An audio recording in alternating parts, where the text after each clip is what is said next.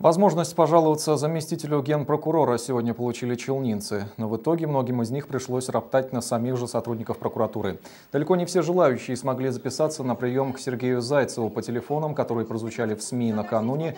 Тем не менее, эти челнинцы все же решили прийти и попытаться пробиться к заму генпрокурора. Многие сетовали, что одного дня для приема граждан мало. Пришедшие бурно выражали свое возмущение, грозились, что не выпустят гостя из Москвы, если он их не выслушает.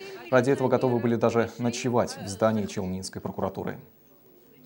Вчера э, проводилась запись в Казани. В Казани вот люди звонят, целый день звонит, никто не мог попасть. Человек попал, она ровно день потратила на то, чтобы записаться на сегодня. И сегодня выясняется, что записи, э, там где она записалась, ее нет просто-напросто.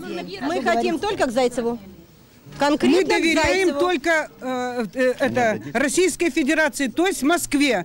Здешним чиновникам мы ни хрена не доверяем. Ни на грамм, ни на капельку. Понимая, что сопротивление бесполезно, сотрудники Челнинской прокуратуры начали принимать меры, чтобы решить проблему. Они вынесли стулья челнинцам, ожидающим встречи с прокурором, и решили сформировать для них дополнительный список. Принимать этих горожан, как пообещали нашей съемочной группе, будет помощник Сергея Зайцева Илья Иванов. Если если мы стали бы формировать э, списки здесь, нас бы опять э, обвиняли в том, что мы заинтересованные лица, будем пропускать только тех, кого хотим. Также и поэтому списки единые, все э, сегодня пройдут, пусть не беспокоятся. Я уже несколько раз говорила.